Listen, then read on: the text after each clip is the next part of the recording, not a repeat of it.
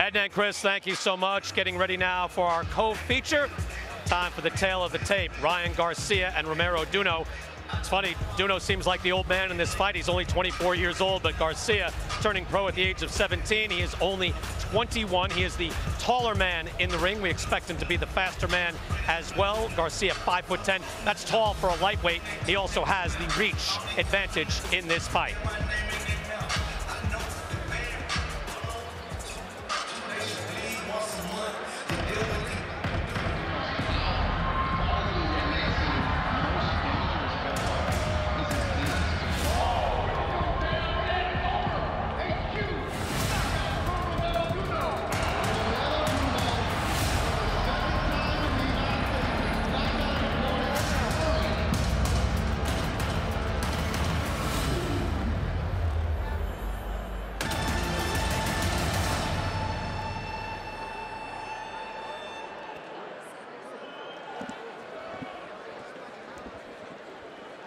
And now, ladies and gentlemen, we are set to go our co-main event. 12 rounds in the lightweight division. First to make his way to the ring. Out of the blue corner, from Cotabato City, Philippines, here is Romero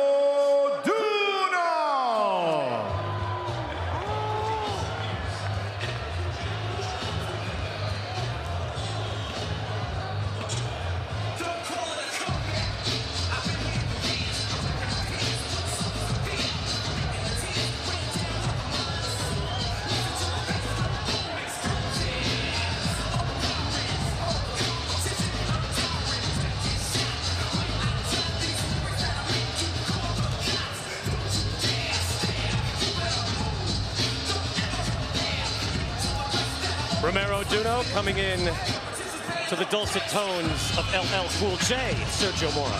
Love it. Romero Ruthless Duno. I'm going to knock you out. LL Cool J. Man has a big right hand. Training just miles away from the home of Manny Pacquiao. His idol in the Philippines, his inspiration in the ring. And Duno, with a big chance here, only 24, gets a shot at an unbeaten kid who is seen as a future star in this sport.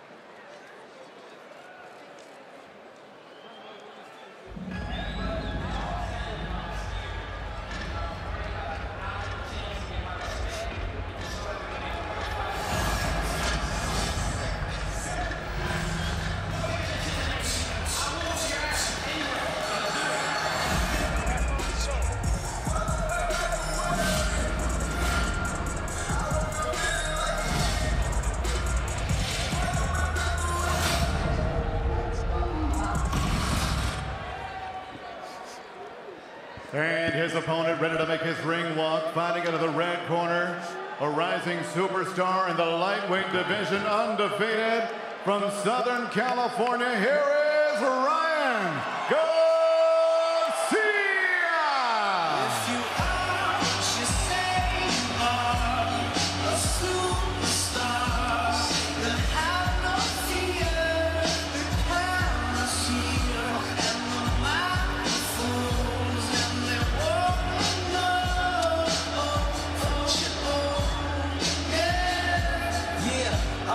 fresh, cool young Lou trying to catch his microphone check two one two.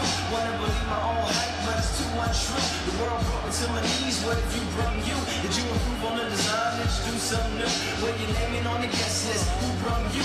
You, the more famous person, you come through, and the sexy lady next to you, you come too. Ryan Garcia coming in literally with Superman's cape.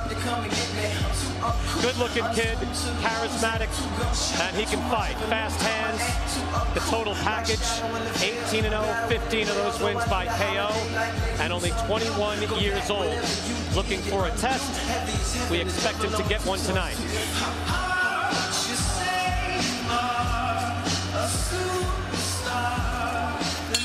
And here we go, ladies and gentlemen, from MGM Grand Garden Arena, Las Vegas, Nevada, the co-main event of the evening.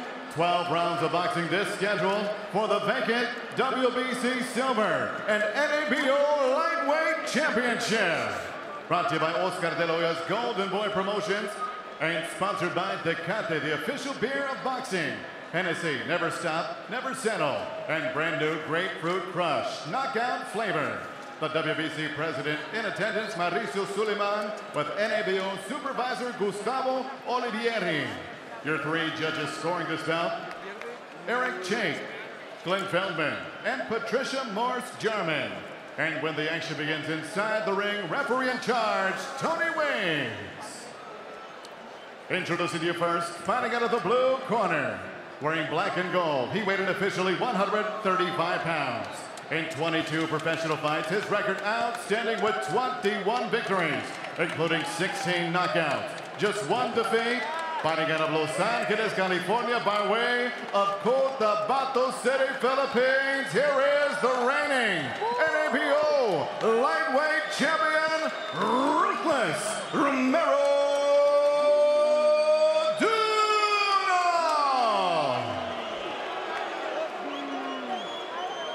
And across the ring, his opponent fighting out of the red corner. Wearing royal blue with red, he weighed in also 135 pounds. In 18 professional fights, he is perfect. 18 victories, no defeats. 15 wins coming by way of knockout.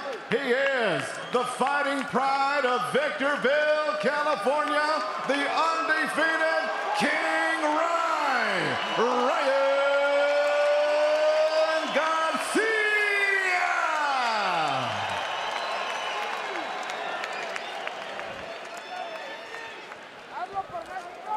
Okay, gentlemen, you both receive instruction in the dressing room.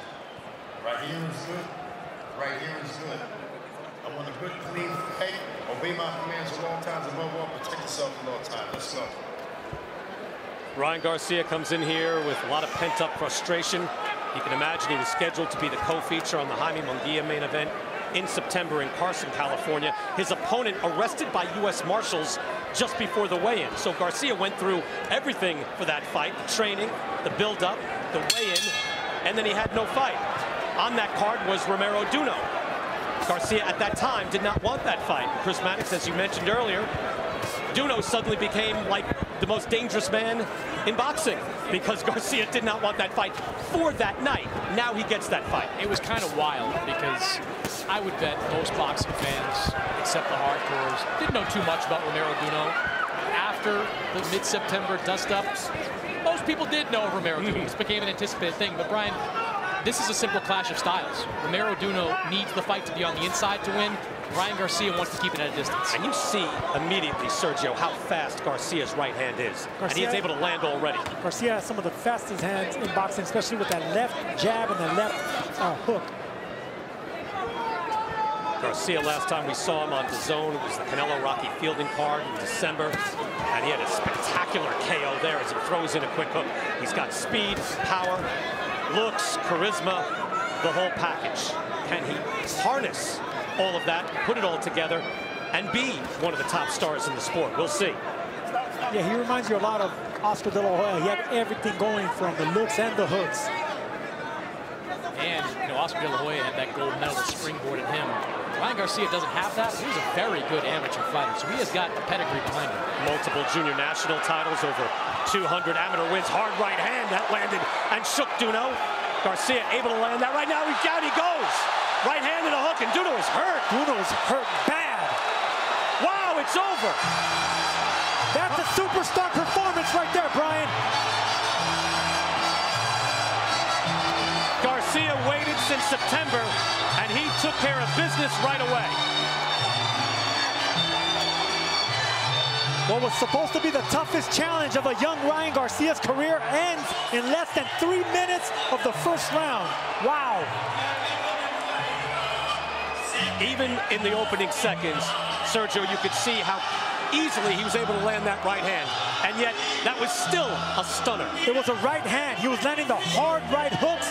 That is just an amazing superstar first round knockout performance by Ryan Garcia. And you haven't seen Duno before. You might be thinking, where did they find this guy? No, Duno 21 and 1. Good, credible fighter on the way up, and he just got blown out. Romero Duno knocked out a fighter, an undefeated fighter, Christian Gonzalez in 2017. Since then, he's been on a destruction, route in destruction. Tonight, he got destroyed by Ryan Garcia. And you can see the champions in the ring. Obviously, Oscar De La Hoya promoter for Golden Boy, but Bernard Hopkins, who also works for Golden Boy, is there. We'll be talking about B-Hop throughout the night. Former middleweight champion who moved up to 175, the way Canelo Alvarez is going to do next because this one is already over. But all you can say is wow, and how fast do you want to see him in there with the top lightweights in the world? That is incredible, Brian. I mean, for you to get a first-round knockout is one thing, but to do it against a very tough fighter like Romero Duno, who's never been knocked out. He has never been knocked out. Do it in that type of fashion. Incredible. And it was a thudding right hand that it looked like Duno blocked, yet it still hurt Duno as he got rocked, and here it is again.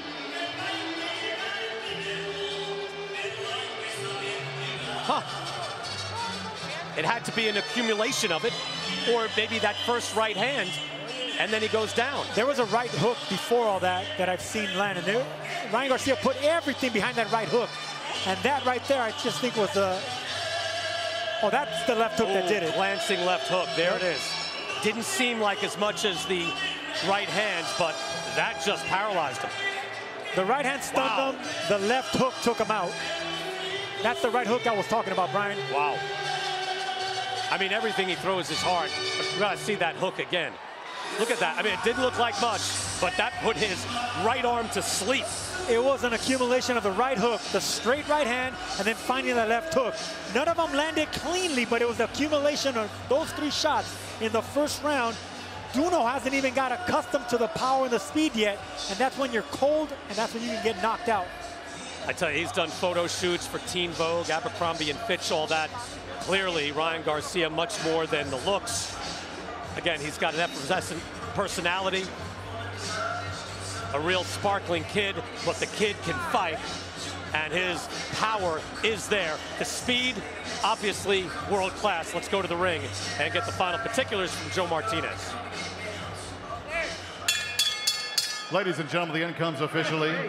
One minute, 38 seconds, round number one. Referee Tony Weeks stops this bout. Your winner by KO victory. He is still undefeated, and now the new WBC Silver and NABO Lightweight Champion, King Ryan, Ryan Garcia. Garcia told us, hey, sooner or later, everybody in my division will realize they have to fight me.